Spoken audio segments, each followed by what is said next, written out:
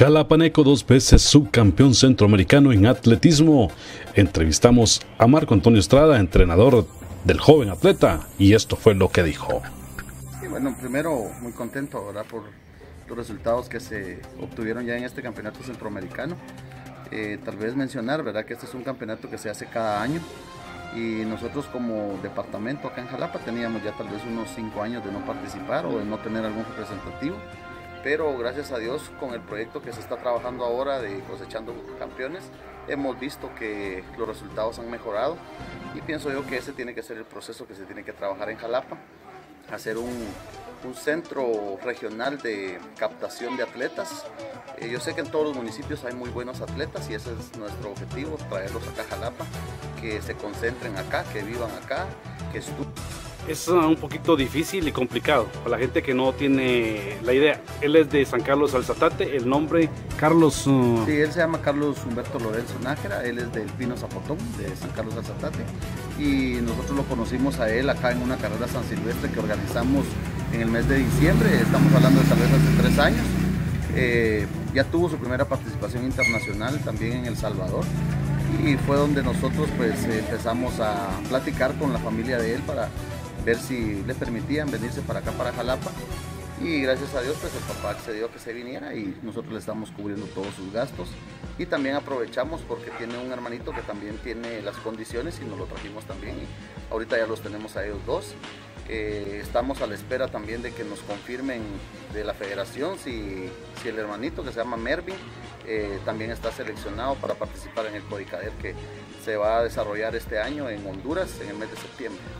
Es difícil entenderlo, pero el apoyo para el atletismo es poco o casi nulo. Se dice que usted los, trajo a vivir a su casa, don Marco, para poder eh, tenerlos en, entrenamiento y darles su estudio también.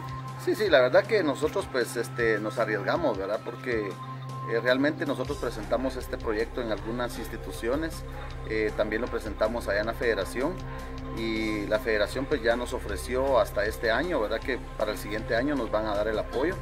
Eh, vamos a seguir tocando puertas acá en Jalapa para ver qué empresas nos puedan apoyar también, debido a que a pesar de que son pocos atletas, ¿verdad? siempre hay gastos eh, en donde ellos tienen pues que cubrir sus necesidades, ¿verdad? tanto el estudio, eh, su alimentación, su ropa, sus implementos, ¿verdad? que en este caso serían los zapatos, los tenis, los spikes, que son los que más se usan. ¿verdad? Y, nosotros estamos muy contentos, muy agradecidos también con la gente de CAG, ya que ellos fueron los que nos abrieron el espacio para que estén viviendo acá en Jalapa. Y también a, la presidenta de nuestra asociación, ¿verdad? Graciela Orellana, que no nos ha dejado en ningún momento solos y nosotros pues hemos trabajado todos los días en el complejo, en horario de 4 a 6 de la tarde, que es el horario en donde nos pueden ver ahí trabajando con, estos atletas que ya están viviendo aquí en Jalapa. Marco, ya para terminar, eh, confirmemos, dos segundos lugares centroamericanos en qué disciplinas. Sí, este, Carlitos participó en el 10.000 metros planos, estamos hablando que son 25 vueltas a la pista, eh, obtuvo un segundo lugar, eh, el único que le ganó fue un panameño, en donde prácticamente en el remate de los últimos 200 metros fue donde, donde le ganó. Y el día de hoy que participó en el 3.000 metros con obstáculos, eh, para nosotros es una de las pruebas más fuertes que tiene el atletismo y también obtuvo ahí un segundo lugar, en donde quien le ganó pues fue el atleta guatemalteco también de, de Quetzaltenango y realmente contentos, ¿verdad? Porque fueron los dos guatemaltecos los que subieron al podio haciendo uno y dos para Guatemala. Carlos, ¿qué? ¿El apellido? Carlos Humberto Lorenzo Nájera.